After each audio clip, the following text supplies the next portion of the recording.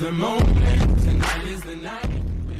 Shiba Inu on the live stream, so we are getting some sort of bounce, just like Dogecoin.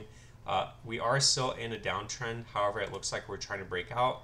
We are over the 382, uh, so that is bullish as long as it stays over uh, 4018. I do put the next target at this previous high.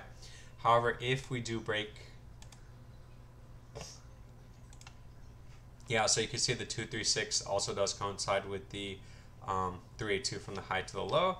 So at this point, if this if Shiba Inu doesn't hold this area of support with any sort of breakdown at around 4017 to 4018, then we are looking at coming back down uh, for a consolidation period. However, if it doesn't do that, and if we continue uh, up and we stay over 4018, then the next target I do put it at is uh, 4045, which is the previous wick.